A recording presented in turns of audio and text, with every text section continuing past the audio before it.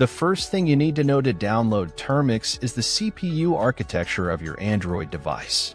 To find out, I leave you in the description and up here a video where I explain how to find out the CPU architecture very quickly.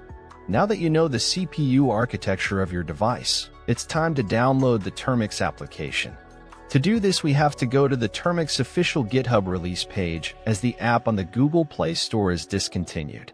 Once we have opened the GitHub release page, we will select the appropriate version of the APK file, i.e. the one that matches the architecture of our device.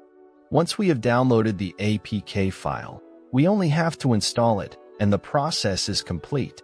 I recommend that once the application is installed you update all the packages with the following commands.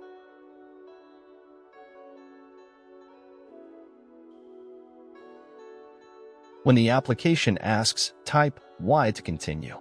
You can check the official information of its GitHub to see everything you can do with this fantastic application. But remember that we will see some of the most interesting ones in future videos such as installing a complete Linux operating system or setting up development environments with VS Code.